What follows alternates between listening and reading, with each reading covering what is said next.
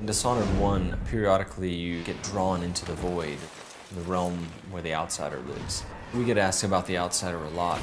He's obviously a mythic, enigmatic figure. And so we give you a little more detail on the outsider this time. His history, how he came into the world 4,000 years ago.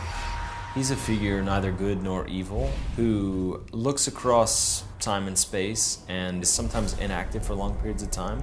Empress Emily Kaldwin. I am a friend of your father's from the bad old days.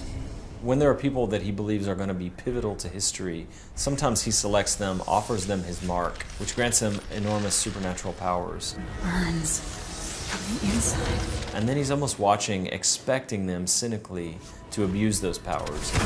He seems obsessed with the abuse of power and how the powerful treat the powerless. The new version of The Outsider is definitely true to the character, but we assume that different people see him differently. Another surprise. So be it. We leave him to the players to infer, to interpret, but he's an interesting character. And then on top of that, the void itself is different. It's darker. It's a little more disturbing, perhaps. Never thought I'd be here again. This time for Dishonored 2, we've tried to answer some of the questions that really gnawed at players the first time. But a big part of our philosophy is for every question we answer, we try to ask a new one. Bye.